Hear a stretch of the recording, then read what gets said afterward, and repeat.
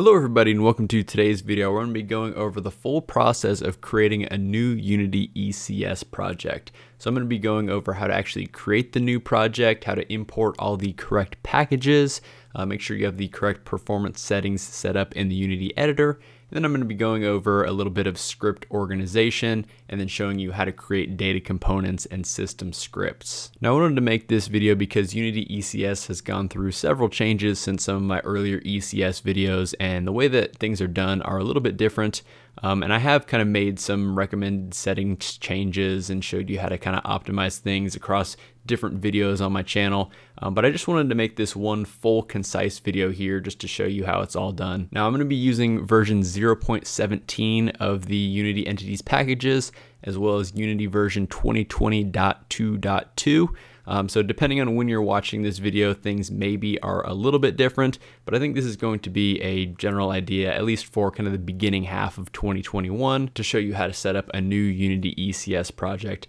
Again, Unity's data-oriented technology stack and their entity component system are still in the kind of experimental preview phases right now, um, so it is kind of subject to change, so just keep that in mind as you are developing. Anyways, before we get into the video, I'd just like to say if you did find today's video helpful, I would really appreciate if you hit that like button. Also, feel free to subscribe to the channel for lots more videos about Unity's entity component system. Of course, if you do have any questions or suggestions for future videos, you can always leave those down in the comment section below. Without further ado, let's go ahead and create our new Unity ECS project. So as you can see here, I have a Unity Hub open here, and we're just going to go ahead and create a new project here. I'm going to use uh, Unity version 2020.2.2. So for the Unity Entities 0.17 preview packages, the minimum required editor version is Unity 2020.1.2. So as long as you're using something newer than that, you should be good to go. And then when the new project dialog box pops up, just go ahead and give it a new project name. For project name, I usually do, you know, kind of the name of the project, which in this case is Awesome ECS and then I do a dash project. So the dash project is kind of the root directory for the Unity project. Um, now for the location, you'll see that I have this saved under Unity projects slash awesome ECS. Now that is different than the awesome ECS dash project here. This is basically just so I can kind of have like an extra folder layer in case I do need to, um, you know, put anything inside of this awesome ECS project. And so for templates, you can just leave this on a 3D template here. Um, if you do want to use HDRP or URP, feel free to use those templates as well. Um, but we'll just go ahead and create a basic 3D project here. So now that we have our project open in the Unity editor here, the first thing that we're going to need to do is import all the dots packages. So of course, just go up to Window and Package Manager, and you'll see the Package Manager open here. Now, there's actually no way as of right now that we can actually locate the dots packages because they're kind of experimental packages, so Unity kind of hides them away. So basically, the only way to get them is if we just go to the plus then we do an add package from git URL. Now the way you're gonna get basically all the packages you need is by adding the hybrid renderer package because the hybrid renderer package um, requires the Unity entities package and then so it's gonna automatically add in the Unity entities package and the Unity entities package requires a bunch of other packages so those will all automatically be imported.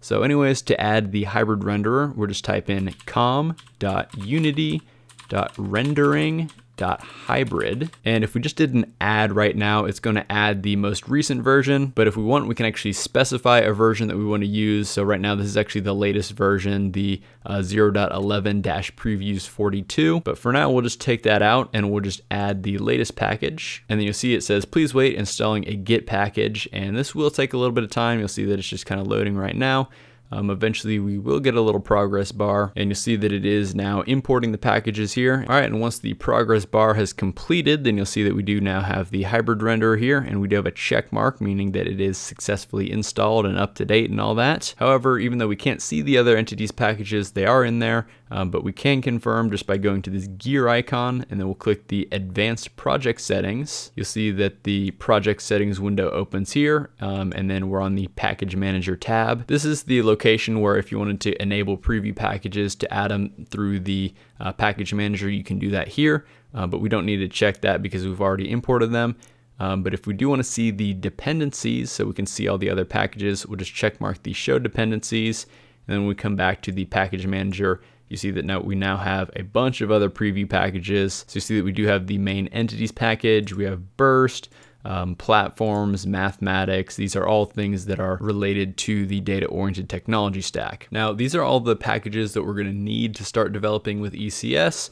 Um, however, there are a couple other optional ones that we can add depending on our project. So if you are using LiveLink and you're doing some heavy kind of entity conversion workflow, uh, you may want to add in the entity conversion preview window. You do that just by adding in the com.unity.dots.editor. I know the whole LiveLink and entity conversion is a really big topic, and I think I'm going to do a dedicated video on that later. Um, but again, that is an optional package if you do want to add it to your project. Also, depending on the platform that you're developing to, to there are some additional platform tools that you can import into your project. By default, Unity includes the just kind of generic platforms package, which does allow you to uh, make basic desktop builds of your game. However, you can add specific ones if you are making builds for, you know, Android, iOS, WebGL, and so on. And so you can just add those using the com.unity.platforms.platform name. But don't worry about that too much right now. Creating builds for your game um, is another topic that I do want to do a full dedicated video on because there are a lot of things that we can really go into depth on in that. So anyways, we're done with the package manager, so we can just close out of that. The next thing that we're going to do is enable our fast enter play mode settings. Um, so just go up to edit and project settings and then we're going to go over to the editor tab. Now there are a bunch of options here and we'll just scroll down to the bottom and then we're going to want to check mark the box for enter play mode options and then we're just going to leave the reload domain and reload scene boxes unchecked. And this is going to allow us so when we're actually testing our game within the Unity editor, it's going to severely cut down the time that it takes to actually enter play mode.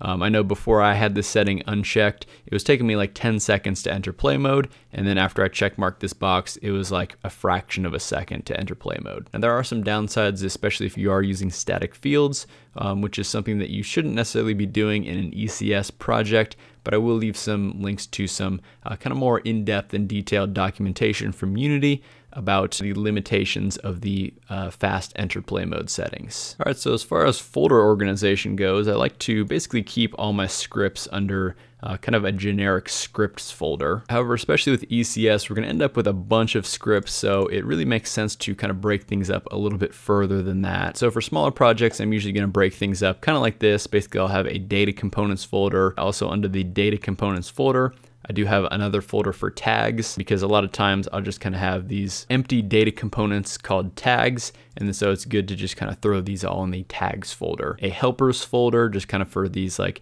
um, extra helper scripts that aren't necessarily tied into the gameplay, um, but maybe you can you know drop tools and other things, um, extension methods and things like that in there. I'll have a folder dedicated for mono behaviors because you know still in ECS we do need to add in some mono behaviors to our game to kind of implement some workarounds because not everything is fully featured yet in Unity ECS unfortunately. And then finally I'll have a folder for systems. So that's kind of what I'll do for smaller projects. Maybe if I'm just kind of like prototyping something out, this is going to be the easiest way to kind of have some level of organization. Now, if I'm doing a bigger project, I'm going to structure things a little bit differently. Um, you know, still kind of have like some helpers, tool, tools, and UI folders. Um, but for everything related to the gameplay, I'm going to keep that within its own separate gameplay folder. And then here you can see that I kind of break things out um, more by things that they're related to rather than the type of script that it is. So you see that I have kind of a battle systems folder. The core would be kind of related to the core mechanics and rules of the game. Um, then of course like enemies and players. So, so with this kind of organization, this would be better for um, kind of a bigger project where maybe within these folders, we do have uh, multiple types of scripts. So we'll have components, systems, mono behaviors, um, just kind of all existing in each of these folders. So we're not really breaking it up by the type of script that it is. Um, rather, we're breaking it up by what it kind of relates to. So anyways, let's actually jump into one of these folders and we'll go ahead and create a new C sharp script here. And we could just call this player data. So that's kind of how I name data components is I'll do um, kind of the thing that the data component is going to be associated with it and then the word data after that. So when we open up our script in the editor of choice, um, of course, just go ahead and clear out everything here for the start and update functions. And then we can clear out the using statements. The one library that we will need a reference to, um, we'll just do a using unity.entities. And then instead of being a class, this is going to be a struct. And instead of inheriting from mono behavior, it's going to inherit from I component data. So this is a basic data component right now. If I was going to be making, um, again, what I called a tag, this is what a tag would look like. It's just an empty data component. But if we do want to put in a public int for some type of hit points or something like that, we can put that in there like that. And so that is just a basic data component. Now, if we want to create a system, again, we'll just go ahead and create a, a new system here. We'll just call this the uh, player system. Again, with systems, I like to use the uh, word system at the end of the file and class name. So again, we can kind of clear out the start and update functions and we'll be uh, once again using unity.entities. Instead of inheriting from mono behavior, we're going to be uh, inheriting from system base. And you'll see that we do have um, kind of this red underline here. That's basically because we're not implementing the on update function.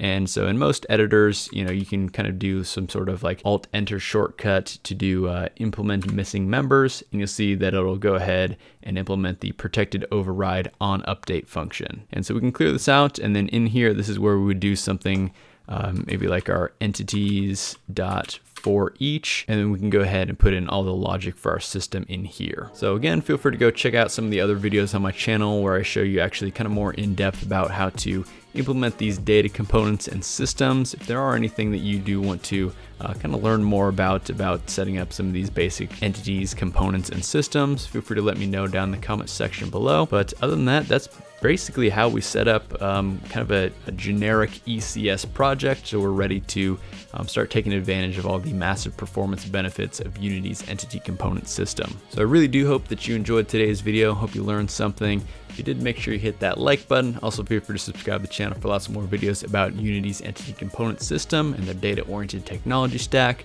Of course, if you do have any questions for me or suggestions for future videos, you can always leave those down in the comment section below. I hope you all have a fantastic rest of your day, and I'll see you in the next one.